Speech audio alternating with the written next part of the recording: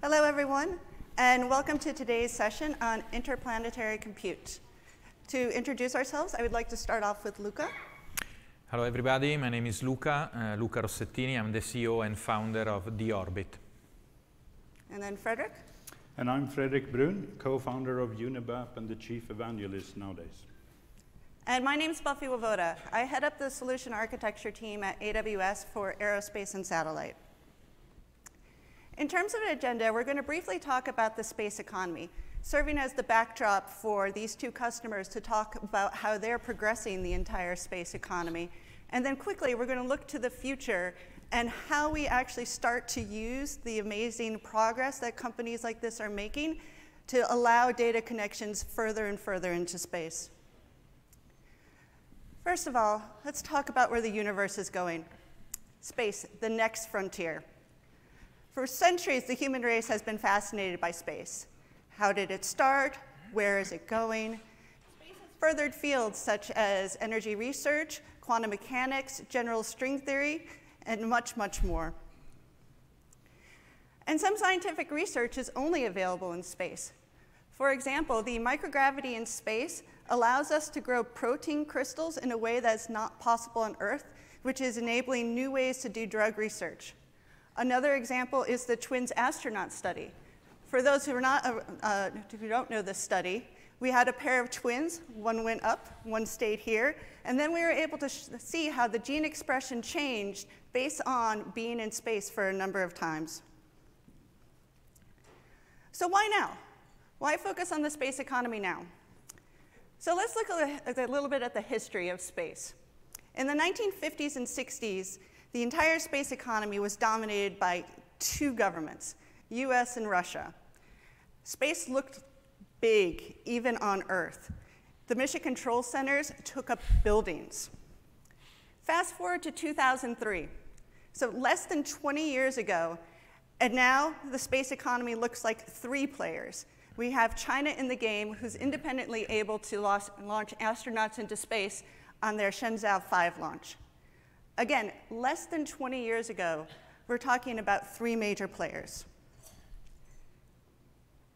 And now we have 10,000 companies supporting space, from satellite companies to rocket companies, from human spaceflight to autonomous vehicles.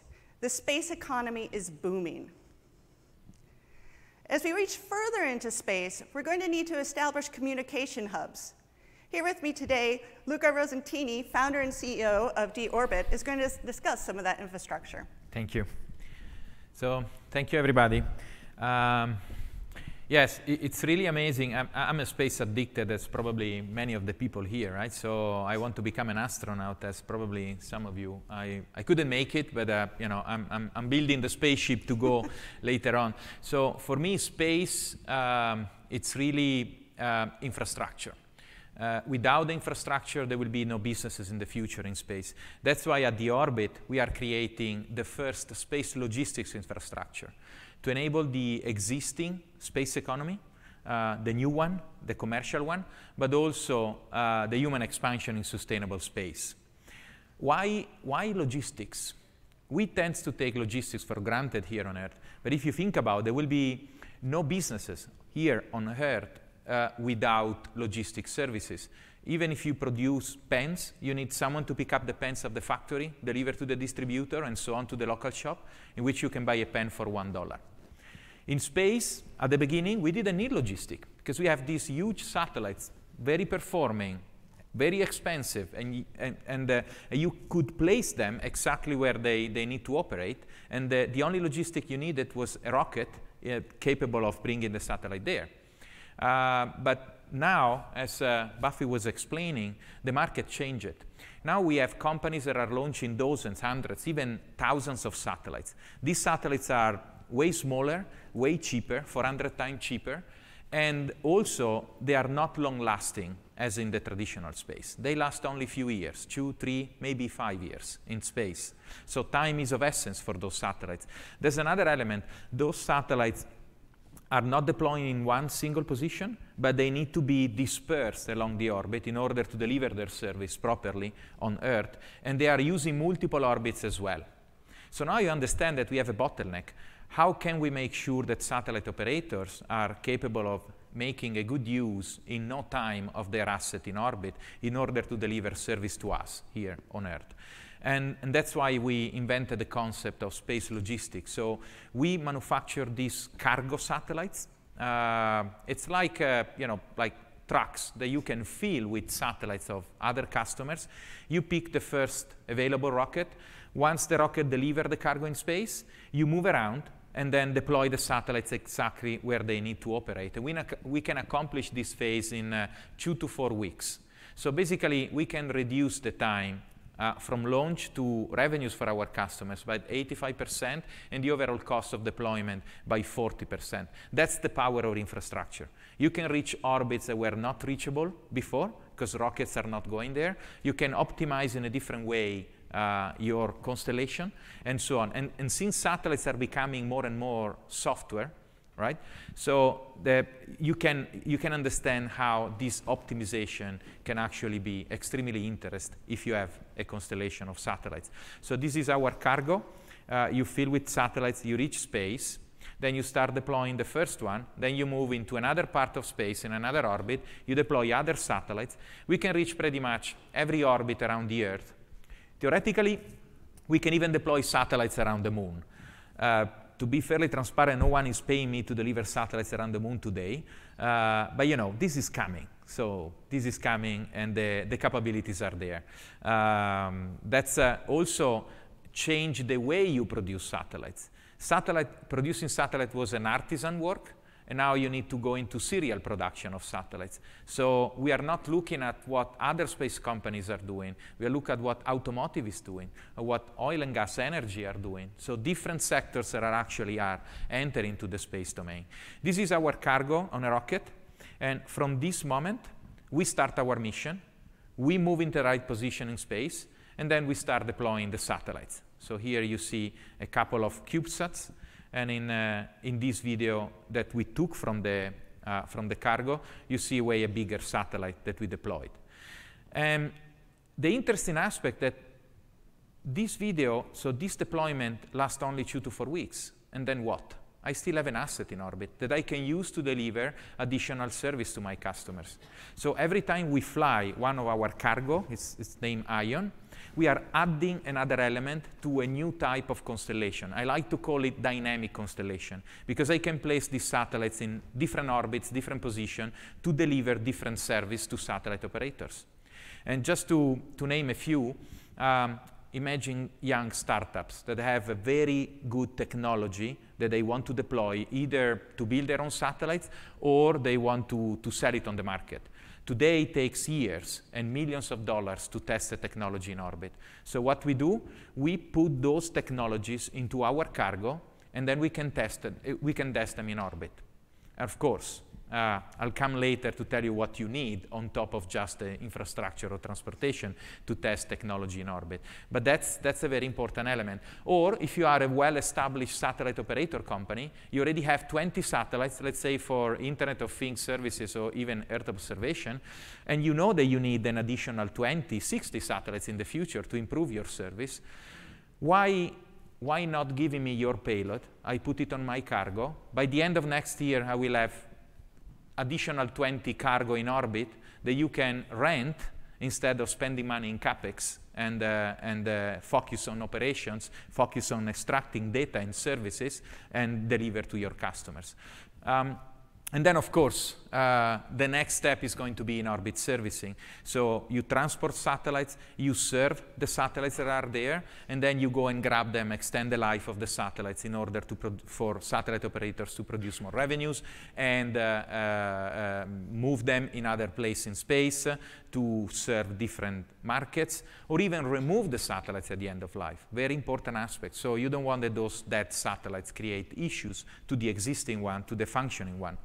And uh, as you can imagine, all these, I, I, like to call them advanced services that are on top of the transportation, are quite complex. Just to give an example, if you have to get close to another satellite, And, and, and the, the reason why I show you the video before is because you understand that the capabilities are there.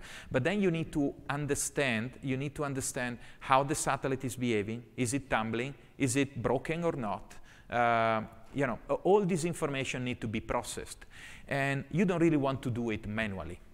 I mean, if you have hundreds of spacecraft that are going to perform this service, you want, you want a full automation. Full automation comes with a lot of computational capabilities that you want to have on board of your satellite. But then if you increase the, the, the computational power, then you need more energy. Then if you need more energy, you need bigger solar panels. And that's create complexity and cost. If you have bigger solar panel, then you need to have a bigger structure because you need to hold the solar panels. And, that's, and you understand that it's a negative uh, spiral of cost that keep increasing. That's really not smart. That's not a good direction in which we are building the logistics infrastructure. So, and this also remind me, you know, at the beginning, when, when we created D-Orbit, my mechanical engineers were coming to me every year and a half at the beginning, say, oh, my computer is too slow, can we change it? And then they start coming every six months and then every single month they were complaining that the computer was not fast enough. So wh what did we do? We switched to the cloud, right? As 90% of the companies, right? So we switched to the cloud. So why not doing the same in space? What if my cargo comes with a server on board and my dynamic constellations is actually becoming a, a space cloud infrastructure? At that point, you have a cloud infrastructure in orbit that can provide this type of support to all the future spacecraft or the existing satellite operators. Just to complete the example of the in-orbit servicing, my spacecrafts are going to be a sort of terminals. They will have a, a minimum computational capabilities, and they will rely on cloud in, in order to perform all the operations.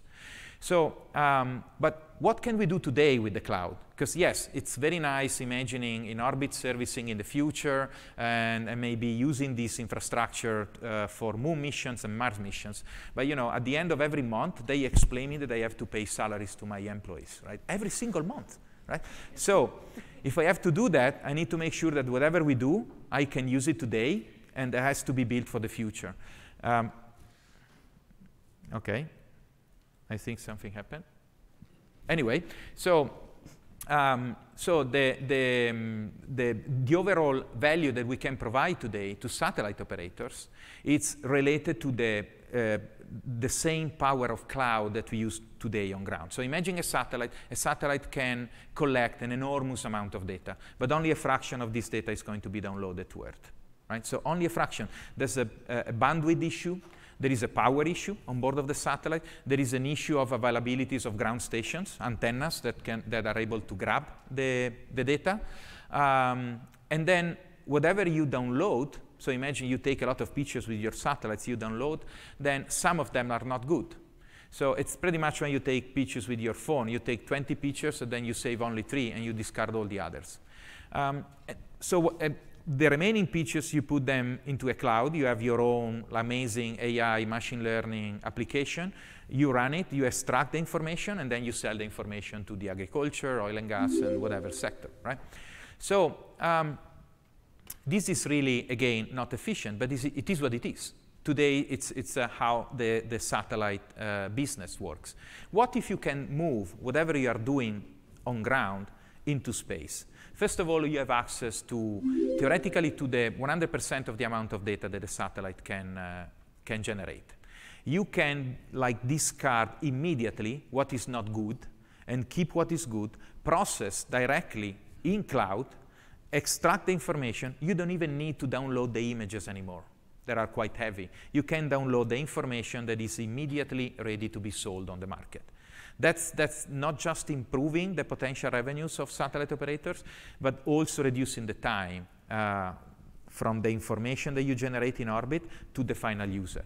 And, that's, uh, and, and, and this is uh, going to be uh, changing the way we are going to operate in space. I just want to give you a few examples of potential applications of this type of uh, utilization of the cloud. So, um, and I use three main areas that I think are the most, uh, the most important for, for us as a society. So today, when you have um, uh, like a climate issue, an hurricane, uh, or even an earthquake, uh, satellites are used quite often. But the, the delay, um, it's, it's something that it's, uh, you know, deciding uh, life or death of many, many, many people. What if we can shorten that? If we can elaborate everything in orbit, then you have, and then you use the cloud, and the cloud is distributed. So there's, there's not going to be only the D-Orbit cloud. There's going to be many other companies with their satellites acting as a cloud, and all these satellites will communicate to each other. So at this point, you can download the information like almost in, uh, in real time. Um, almost in real time, and you have immediately available the information, and you can use it to save people, save life. Um, uh, civil security and public protection. That's a very important topic uh, in these days, unfortunately, I have to say. Uh, you, can, you can operate the cloud for object detection, like illegal shipping, piracy, smuggling, and, and, and so on, uh, but also uh, crowd location and detection. And, and, definitely you can monitor how the pollution evolved and provide immediate information. So for example, you may decide to shut down entire industrial areas if you see that the pollution is going, is increasing too fast, right? And you can do that if you have these capabilities in orbit. And then of course, disaster monitoring and, and response. Uh, uh, one of the missions that we made, uh, as I said, we, we test technologies also for other companies. We had this infrared camera that was designed to detect wildfire. If you put together the sensors with the computational capabilities, the edge computing you can do in orbit, and then you have the infrastructure, that's, you understand how this is going to impact positively uh, all of those that are working on this, uh, on, on, on, this, uh, on, on this action plan that they need to deploy as soon as possible. So the cloud computing in orbit, it's definitely going to improve the way we are using satellites today. Uh, but it's not just for today. As we said, uh, we are really imagining uh, an infrastructure that, go, that uh, goes beyond uh, what is around the Earth. And if we have to do that, there's another element that we need to take into consideration. That is creating a future capable of future. So we want to make sure that whatever we deploy in space, it's not a dead end. It's not killing us. So we need to make sure that whatever we design, we already have in mind the next step. So when we say that we are going to remove satellites that are not working anymore, uh, our objective is not just to destroy the satellites, uh, driving them into the atmosphere. That's, of course, today it's a necessity, but tomorrow we are going to drive them into a recycling station in orbit. You recycle satellites, you produce raw material that is going to be used to produce new spacecraft in orbit. And that actually makes a lot of sense. We are not building boats on the desert and move them into the sea. Why should we build satellites on Earth if we are going to use them in orbit? And then with orbital manufacturing, you can build spacecraft that are, that are superior, that are way more effective, and then you can really go for uh, interplanetary settlement. So you understand now that this picture that at the beginning, if I put it at the beginning of my presentation, could look like just science fiction. Now it's actually something that makes sense. So connecting Mars, the asteroid belt, Moon, and Earth through a network of routes in which you can transport goods, people, and information thanks to the, the cloud infrastructure that is enabling all of this. So concluding, the air to space, it's the market in which we are living now, right? So satellites that produce data for us here, our society on the Earth. This market needs an innovative ecosystem to enable the expansion towards uh, what I define as space-to-space -space market. And the space-to-space -space market, uh, it's, uh, as you can imagine, it's infinite by definition, so can only grow. And that's, that's the beauty of, of what we are doing today. Um, and a, a distributed uh, space cloud infrastructure can provide on-demand high power, low latency, distributed computational resource to a constellation of smaller low power satellites and in the future to any spacecraft that is going to fly in space. Thank you.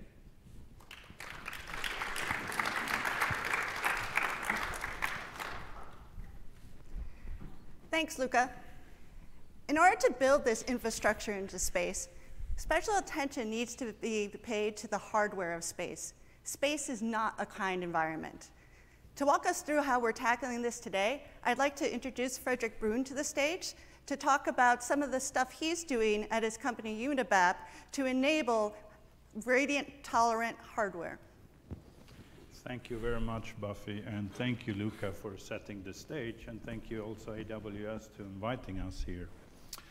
Unibap was founded in 2013 with the goal of democratizing space. We wanted to make sure that you can reuse the same cloud infrastructure in space that you have on ground.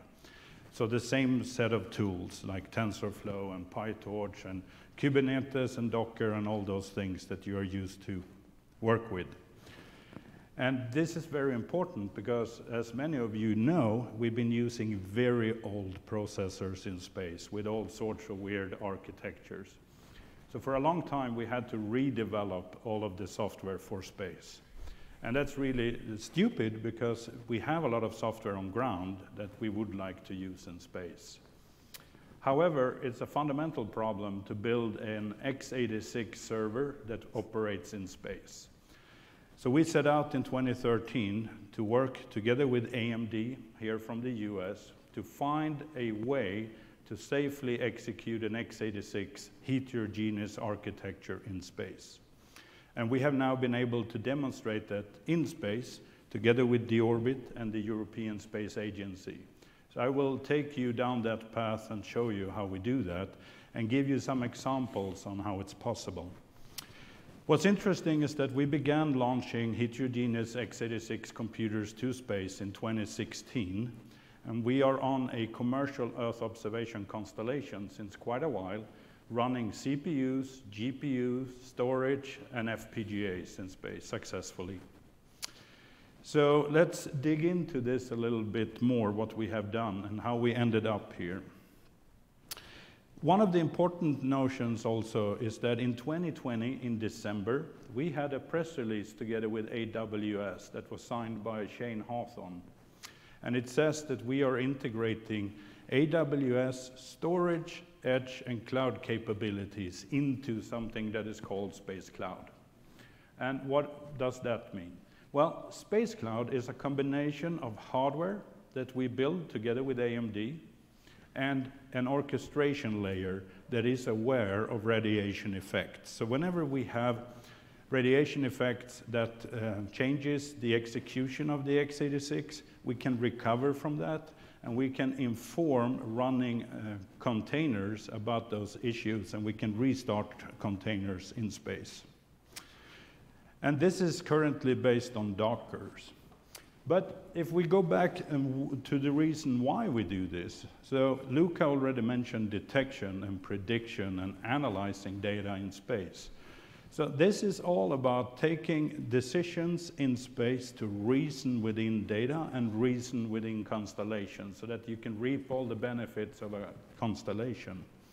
So you're moving along this arrow you can see here that you need, for instance, to do classification and you need to have prediction. By the time you have prediction, you have intelligence, and then you can connect the dots just the same way we do on ground. And in order to illustrate this, I took an example of a US satellite that is being assembled right now. It's leveraging Space Cloud. It's called the HyTI mission. It's a technology demonstrator funded by NASA, by the Earth uh, Science Technology Office.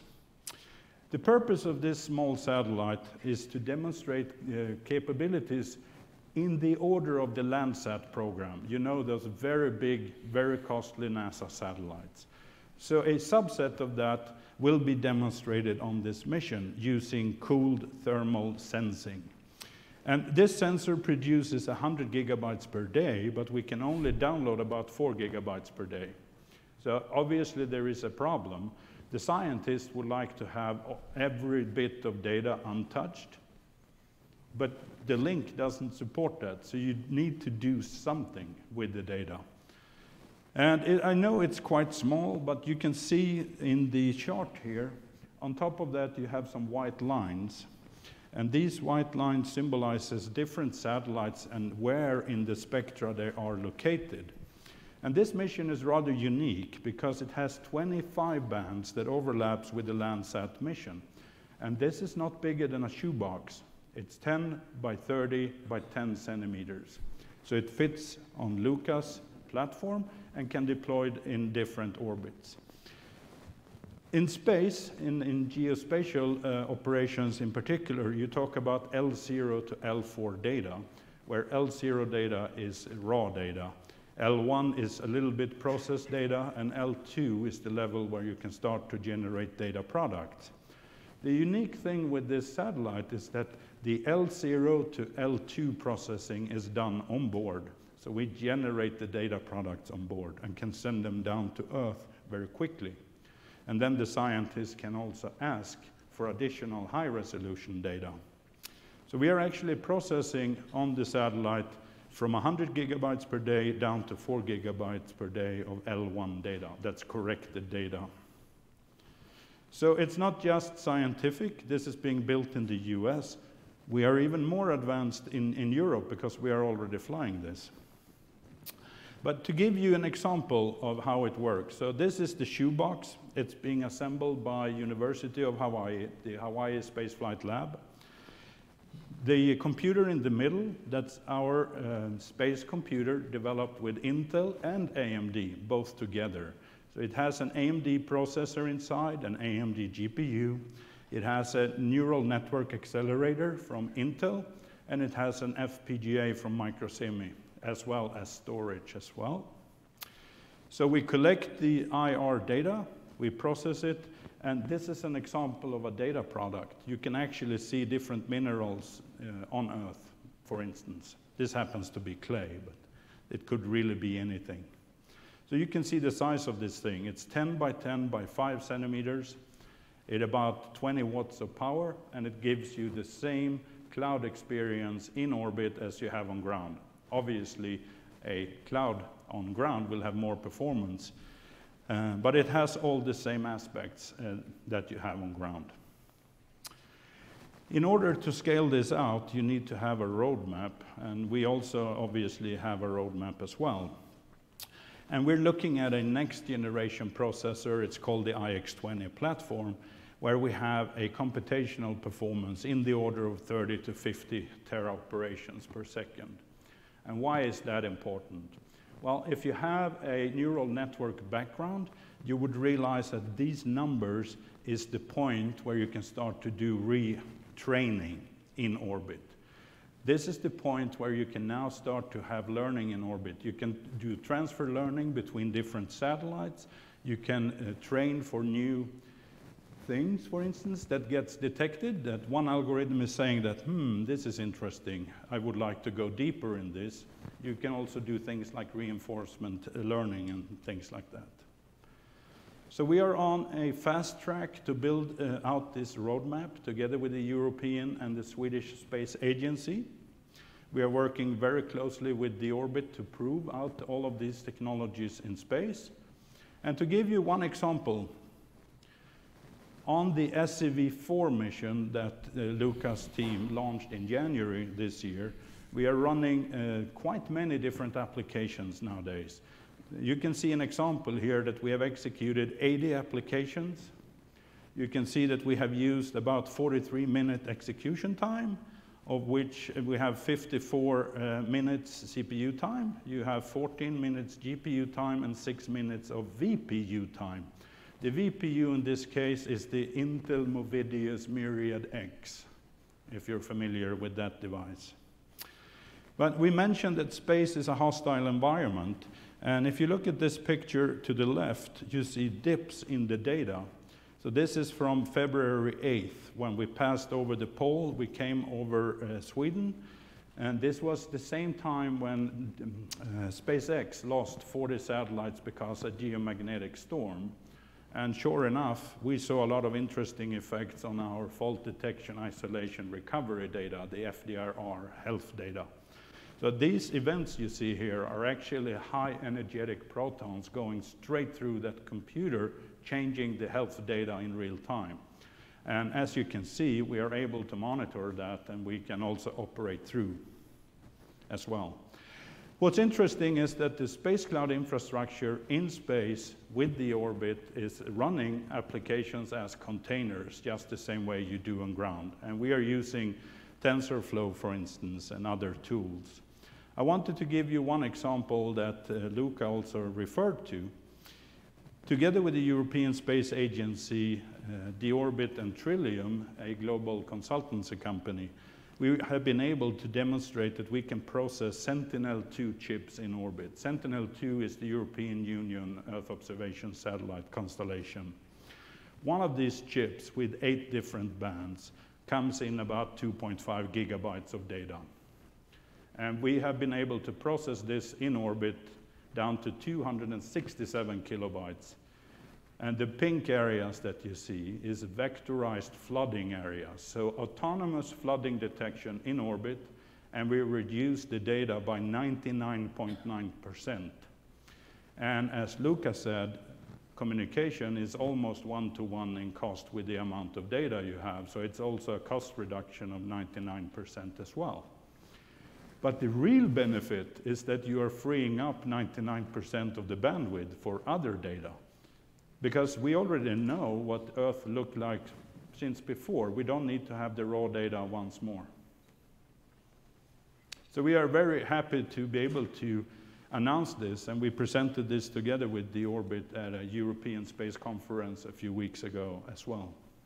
So it is really in orbit, it is working. All the tools that you have on ground can be reused. Let's have a, a, little look uh, down into the, the hardware. This is an example. It's of a family called IX10, which is uh, driven by the AMD Ryzen family. So you can see that it's um, eight CPU threads, about two uh, teraflop of GPU power, and you have uh, about a thousand DSP cores in the FPGA, and you can have multiple uh, Intel Movidius accelerators on this as well. This particular unit can have up to about 8 terabytes of local storage. And it's the same 10 by 10 by 5 centimeter in size. In order to know that this is working in space, we have worked very closely with NASA to do radiation testing at the Brookhaven National Lab here in the US, as well as Texas A&M. So let's dig into that a little bit more. One of the things is that you saw from a previous slide that we have radiation effects, so we need to mitigate that somehow. We need to know when the GPUs are uh, executing uh, erroneous code or the CPU. One way of doing that is to use a software middleware that does software voting, either on one machine or on several machines at the same time, running in parallel. And in radiation testing, we have been able to show that with a clever middleware, we can improve the single event upset ratios uh, by two to three times. But what's really interesting is when you connect two or more of these boards together and you do voting between them, then we have tested at TAMU that we can improve the radiation resilience by 720 times. So that means that you go from seeing an average event every third day in low Earth orbit to 5.9 years. This is really key to go beyond LEO. If you go to the moon or if you go cislunar or if you go to Mars, you need to have this kind of single event mitigation middleware uh, with you. And this sits between the orchestration layer and the hardware. I, I, added some references in here as well. If you want to read more, if you reach out over email, we can tell you more about it. But when you get to this point, you can wrap up basically by saying that, hey, okay, we have a working x86 infrastructure in space. Now we can begin to scale this. How do we scale it on ground? You buy more and more blades in a 19-inch rack system. You can do the same in space. You add in more and more of these and you connect them together, you cluster them. and remember to keep that single event mitigation software. This is a technology conference, so we have to dig in a little bit into different values. So uh, it's interesting when you start to look at various compute capabilities on the market. So back in 2019, we performed the first big radiation testing campaign. We started with the AMD Ryzen V1000 family, and we also looked at the NVIDIA Xavier. And maybe you know that there are a lot of NVIDIA, embedded NVIDIAs flying in space, but if you look at the radiation data, that's not something you should continue to do because you can never build a commercial service out of that. And the reason is the numbers. So in 2019, we saw early indications that it's not promising to use NVIDIAs in space. And then in 2021, so last year, we did uh, more extensive analysis on this as well. And single event latch up, SEL that you see here, you really want that number to be higher than 37. And the reason you want it to be higher than 37 is that's the threshold for ferrum or ion ions that are coming in from um, the universe hitting your satellite. They come in at a threshold of 37. So if you're lower than 37, you have a problem. If you're higher than 60, it's very good because that means that you can go anywhere in the planetary system. And AMD happens to come in at 60 or higher MeVs, which is really good. And we are seeing failures with, the, in this case, the Xavier AGX at single digit numbers, which is terrible. That's really, really low. So uh, again, you have the reference here. If you want to dig into the data, shoot me an email and we can make sure that you, you get that. But what's really critical is not the compute part, it's the support circuitry. So what tend to kill you in space are the power circuits. You have to be very careful when you do uh, power design. And most of you know that if you buy NVIDIA, you buy the SOM, the, the module, and there are components on that module that is not good for space at all. Yes, we got some numbers in here. Thank you very much.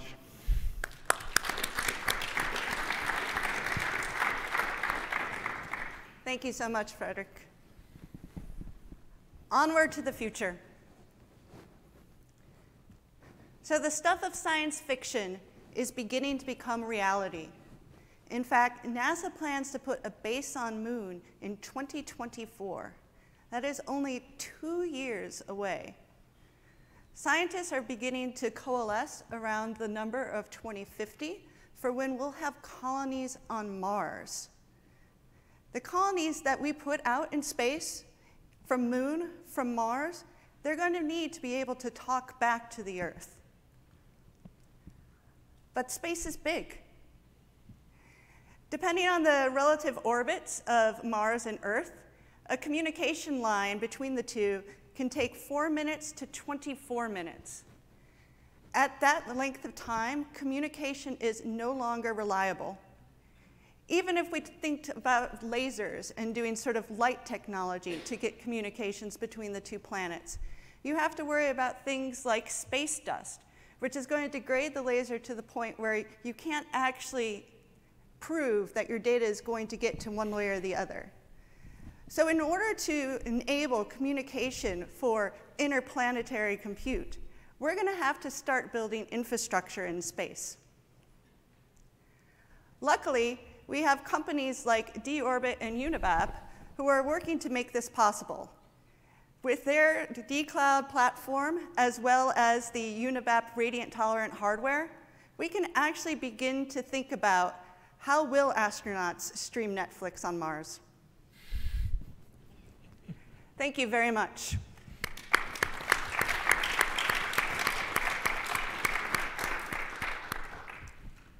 We do have time for some questions. Does anyone have any questions?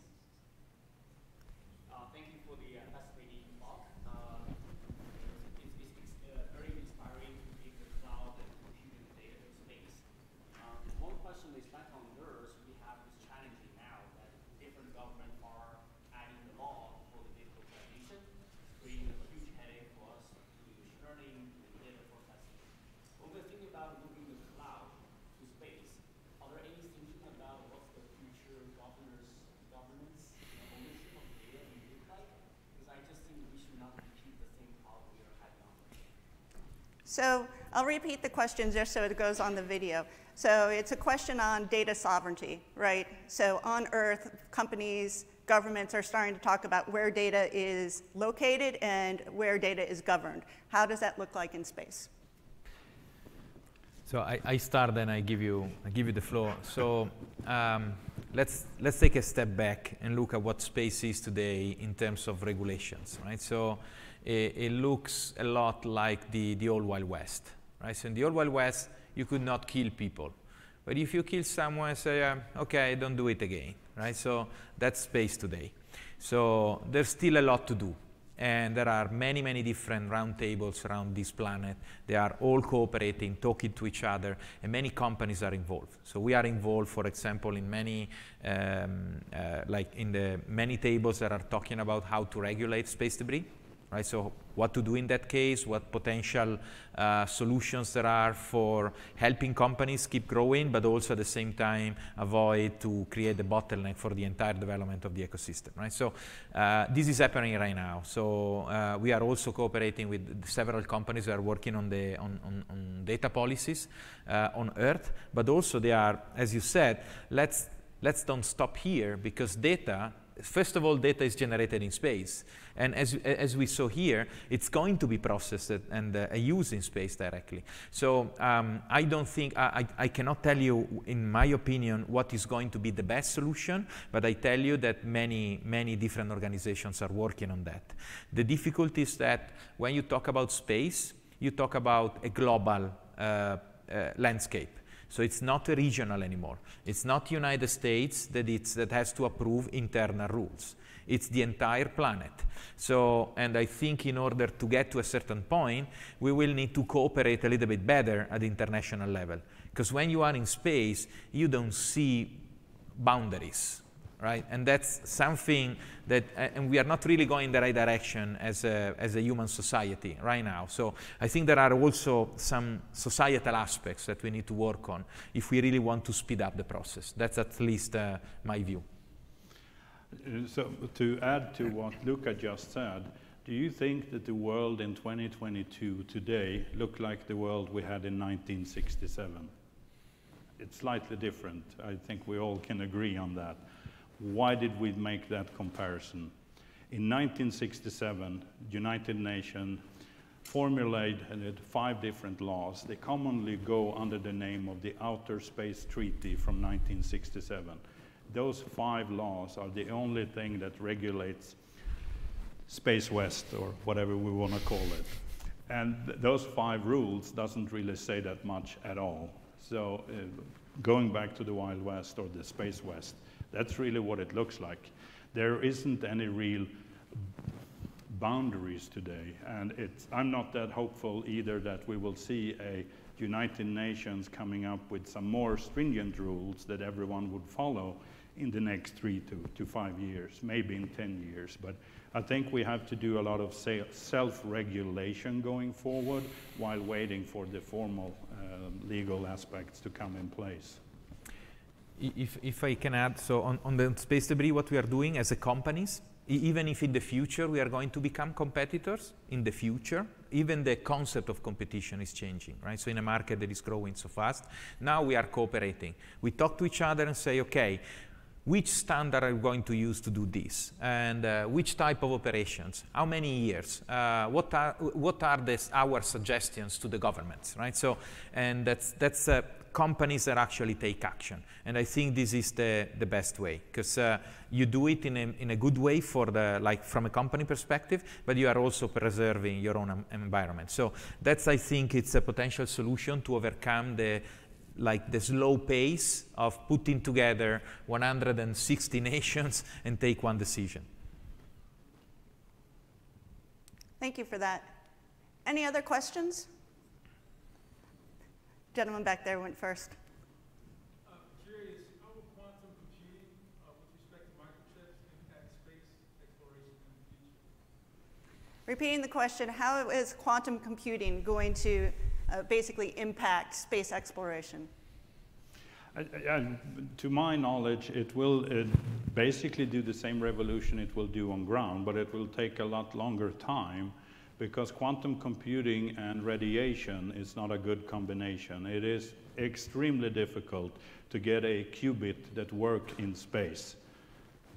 So I, I, think that it will come, but it will probably take another 10 years. Now I will probably get beaten for saying 10 years, but something like that, because we need to come up with a way of cooling a qubit that is not affected too much by radiation. Or you need to have some very elaborate um, failure mechanisms that are not in place yet. Thank you. I believe you were next. Thank you. Uh, your presentation is absolutely fantastic. I have so many questions. now, um, but so I'm coming from uh, K-12 education. Okay. And I'm here with the mission to bring to my school the newest type of technology and trying to explain why are we going to the lunar Mars, uh, why we're not investing all of that money on Earth. And I get it. Now, for most people, I think the idea is not there. Um, so for, for me, it's important to know what are your two companies, as well, and also Amazon, um, doing to make sure that everyone, not just uh, computing scientists, people understand this, and what are the skills that we can foster in our students so when you're looking for talent, which I see in your company, there is not even a, like a description of talent, um, in yours you have it, but what type of talent can we foster, especially in, uh, in K, uh, middle school education, so that they don't have to wait until they go to college to just at that time to learn about this? Thank you. Absolutely. So to repeat the question, it's basically why invest in space? Why not take all of those resources and just invest terrestrially? And if we're going to invest in space, how do we grow the talent to make that possible? So um, I'll start with the, the, second part when you ask what, what are we doing, right? So uh, very recently we create um, the D-Orbit Academy. Uh, in that it's uh, especially used for high school students uh, and early university students that are not yet looking for like an internship, right? So they are not yet ready to work, uh, but they are still at the beginning. That is a very difficult years in which you have to decide what to do. Maybe you were forced by your parents to, you know, to do something, and maybe it's not yours, and you need something to understand very quickly because you cannot waste years of your life. And the high school, especially, I think uh, high school students are extremely, extremely smart, and we are not really using this smartness uh, like in a good way because we think they are too young, but actually they are not. I was selling software when I was at the high school, right? So I was uh, like paying for, for my like Saturday nights uh, at that time. So uh, the, D-Orbit Academy, Academy, works in this way. It's a sort of training on the job. So students come, uh, they spend uh, from two weeks to one month top in the company working on something that is going to fly. And the fact that it's going to fly, it's, it's, uh, you know, it's cool, right? So everybody wants to, to send something in space. Uh, but it's also put you in a situation in which you have really to face like very difficult decisions. Because when you have to fly, I mean, you really have to fly. You cannot miss the deadline. Uh, and the, the, system shall work on ground because otherwise it's not going, you, you, cannot go upstairs with a screwdriver and then fix it. So, and, and this is what we are offering at the moment uh, to students. Uh, we start interacting with uh, also other companies that have nothing to do with space, that they want to have this expertise to train their own managers. And, uh, and we bring students also in that, so to show that space is not anymore for space people. And in terms of description of talents, we, we, we take talents from every, every industry. There, there is no limitation. There are some roles, especially like system engineers, that are you know, more specific for space because you need to understand how it works. Uh, but generally speaking, I mean, it's a new market. As I said, uh, when we have to set up the line of production, I couldn't work what the other you know, traditional companies were doing. I didn't have any reference, so I went to the automotive. And I said, okay, how do you build cars? And let's try to replicate and, and adapt. And this is also going to be the same when we are going to export into orbital manufacturing. Let's look at what other sectors already did. Our business model are taken from software. So we are selling our services from uh, like copying and paste the software business models, right? So uh, if others already did it before and it worked, it's likely that it's going to work in space as well. Space is just younger than many other sectors. It's just a different stage of evolution.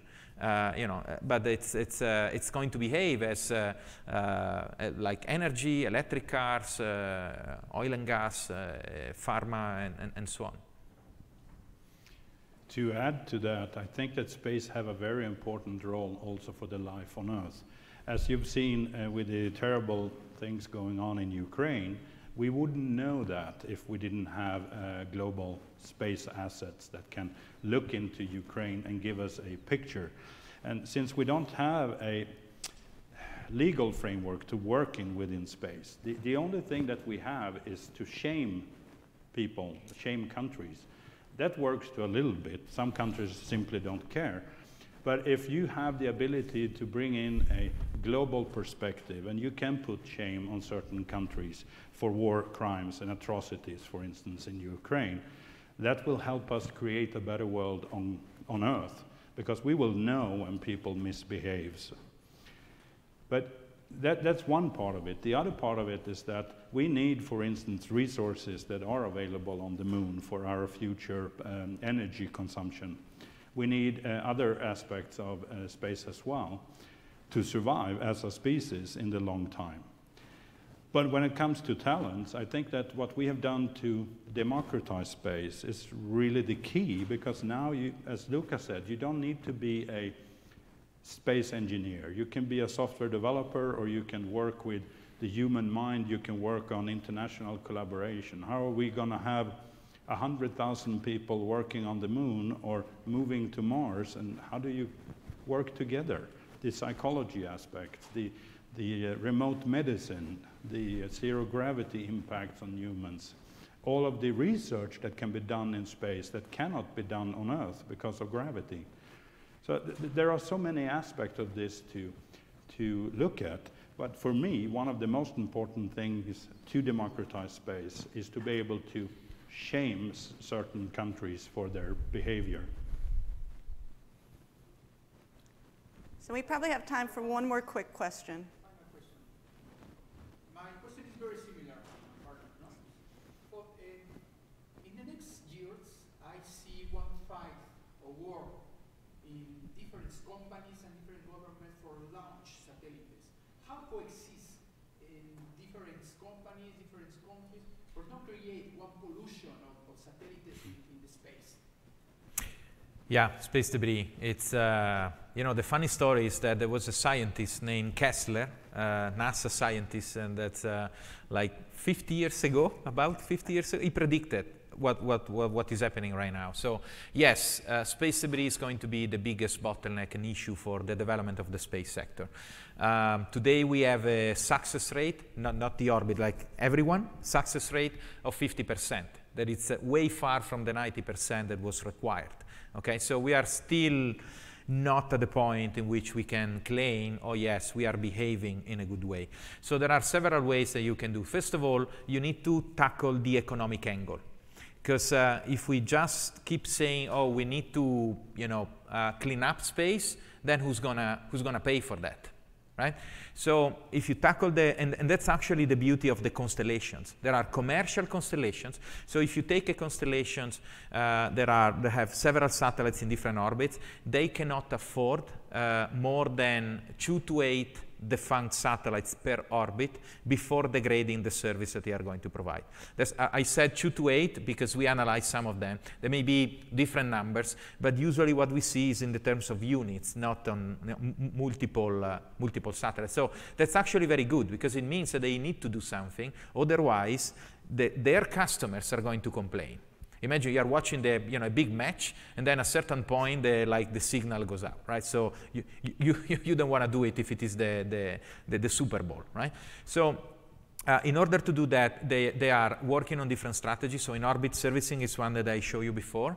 Uh, what we are proposing is a mixed strategy. So it's, uh, it's a mix of orbital clearance. So you have a device on every satellite that is autonomous, independent from the satellite. It is capable of removing the satellite for a few kilometers. So you are out of the danger area, uh, but you still have a debris.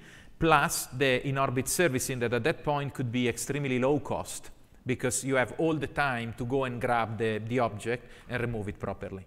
That's, uh, that's uh, at the moment it's still new. So that's, uh, there was a demonstration by Northrop Grumman, and there are very, very few companies that are advanced in order to do that. Apart, I mean, apart from D-Orbit, you find Astroscale. There's a Swiss company, Clear Space, but they are still almost on paper. They are developing quite fast, but they are not there yet. So there are many, many startups that are helping. So, seeing the number of companies that are willing to tackle the problem, I feel reassured because those companies need to move fast, and speed is of essence in, uh, to solve the problem.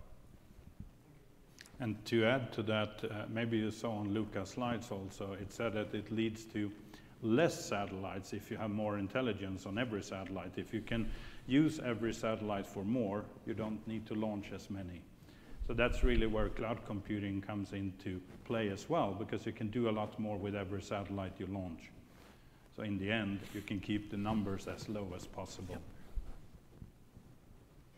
All right, everyone. Thank you very much for attending the session today. Thank you. Please remember to take the survey and have a great re:MARS. Thank you. Thank you.